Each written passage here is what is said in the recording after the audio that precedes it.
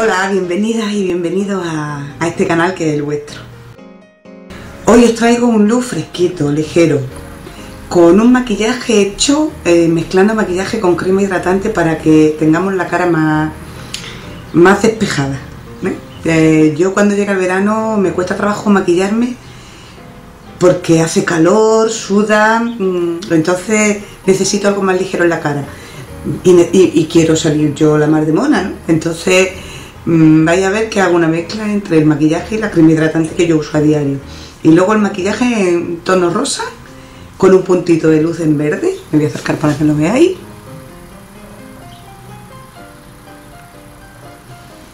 Y, y a mí me parece que es muy luminoso para esta época. Rápido de hacer, porque ya veréis que no se tarda mucho. Y muy favorecedor. Espero que os apetezca, que tengáis ganas de ver cómo lo he hecho y que os quedéis. ¿De acuerdo? Pues venga, vamos al lío. Como hemos dicho, vamos a hacer un maquillaje fresco y ligero. Em, Veréis, es que lo de las pinzas. mm, ¿Habéis visto una cosa más antimorbo que, que una pinza del pelo? No, ¿verdad? Es que me estoy viendo en el espejo y vaya tela. Para no echarnos el maquillaje como hacemos habitualmente y que quede un poquito más ligero, lo que voy a hacer es que lo voy a mezclar. En este caso voy a mezclar el que yo tengo de Maybelline, el Dream Satine Fluido. Voy a mezclar un poquito con la crema hidratante que utilizo habitualmente. Al salir de la ducha yo me he puesto una poquita, una poquita de, de crema hidratante. Y ahora yo utilizo esta de Nivea, que el control de brillo crema de día. Entonces, cojo una poquita con el dedo, ¿veis? Y ahí la voy a mezclar con el poquito maquillaje que, que me he puesto. De manera que se me va a quedar una crema hidratante con un poquito de color. Y ahora la voy a extender por toda la piel del rostro. Y voy a extenderla con los dedos, ¿vale? Suavemente.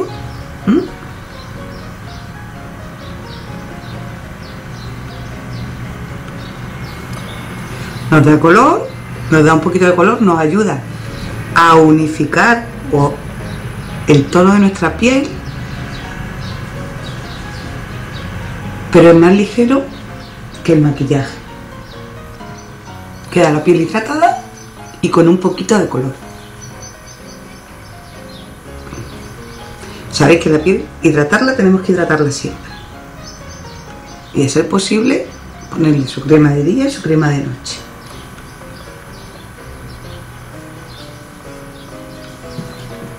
¿Veis? Unifica un poco el tono de piel sin que sea tan denso como el maquillaje. Ahora me voy a poner corrector. Hoy voy a utilizar este de Clinique. Este corrector es buenísimo. Es el número 1, Light Natural. Espero que se vea bien. Y con una gotita que pongamos en la zona de la ojera es suficiente. A mí este corrector me gusta mucho. No tiene. no cubre tanto como el de Criolan. El de Criolan es más, más cubriente, pero deja mucha luminosidad en, en la zona de la ojera. Hidrata mucho esta piel.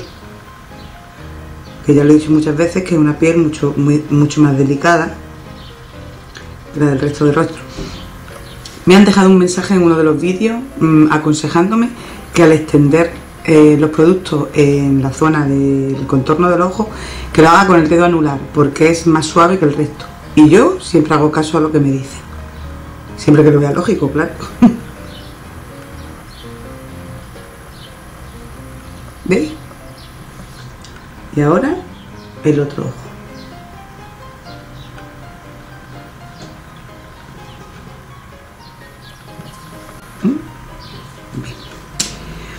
A continuación, los polvos fundentes Aqua Perfect de L'Oreal para sellar este maquillaje ligero que nos hemos puesto. ¿Mm? Porque es un maquillaje muy ligerito. Y ahora la prebase. Aunque el maquillaje de ojos también va a ser muy ligero, la prebase es necesaria. ¿Por qué? Porque así le mm, unificamos el tono de piel y hacemos que las sombras se fijen más y se potencien sus colores. Pero hoy, como prebase, voy a utilizar esta sombra en crema de Max Factor Masterpiece en el número 9047. Mm, no sé si se verá, yo creo que sí. Esta sombra me gusta mucho. Tiene un puntito de, brillo. ¿eh? Y lo vamos a llevar hasta la, hasta la ceja. Hay que hacerlo mm, más o menos rápido porque en el momento en el que se seca la sombra no se puede mover. ¿eh? Voy a dar un poquito más.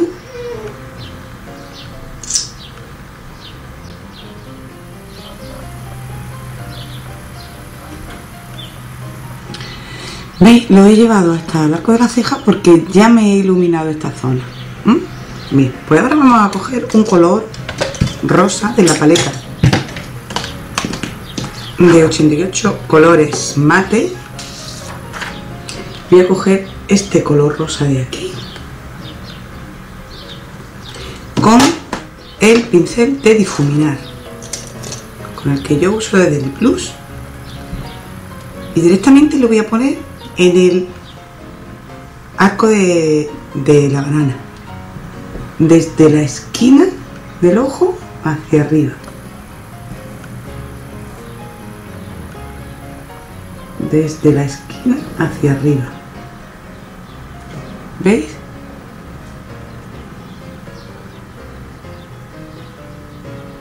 bien en el otro ojo igual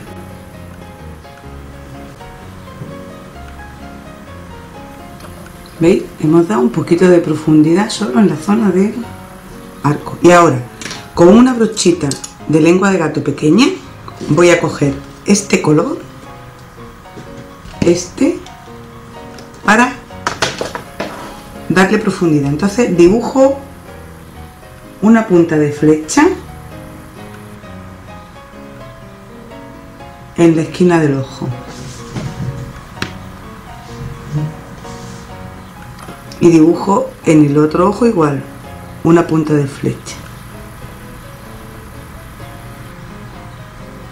no digo que es un triángulo porque no es un triángulo porque no lo cierro cuando pongamos un triángulo ya pondremos un triángulo pero ahora es una puntita de flecha y con el mismo con la misma brocha de antes vamos a difuminar ahí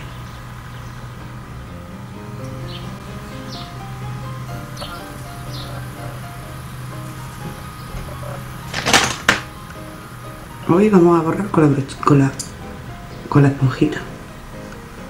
¿Mm? Vale. Lápiz negro y perfilamos por las pestañas superiores. Muy cerquita de las pestañas.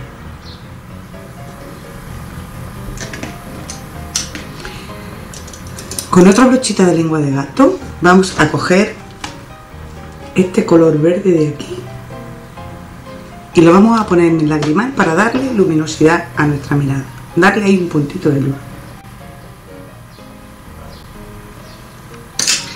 Con una brocha de punta de boli que voy a dejar caer un poquito sobre el color negro, voy a perfilarme ese lápiz que me he puesto.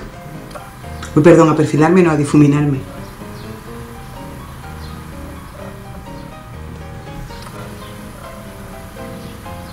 Ya sabéis que al poner un producto en polvo sobre un producto en crema lo fijamos.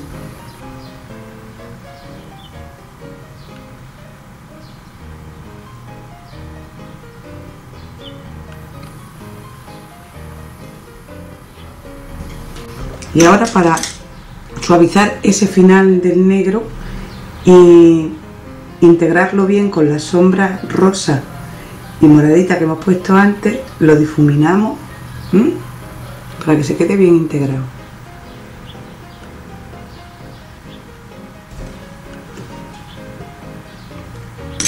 Perfilamos las cejas.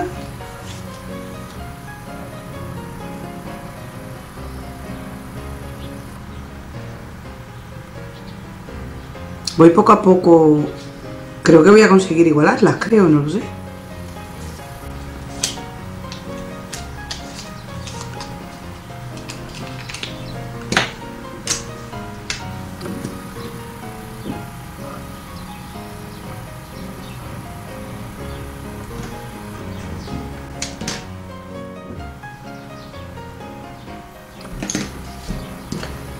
hago la línea de agua superior e inferior. Y voy a difuminar con la misma brochita de la 219 de más voy a difuminar la inferior.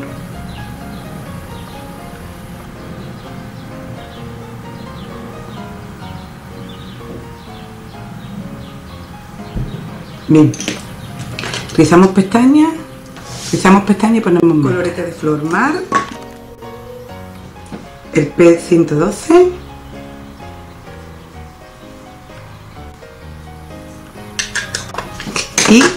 gloss de Rimmel el 360 hay un rosa fusia precioso. Bueno ya está acabado el look. Es un look fresco ligero luminoso para estos días de primavera tan fantásticos que tenemos. Espero que os guste. Os dejo con el antes y el después y mi deseo es que volváis. Hasta luego.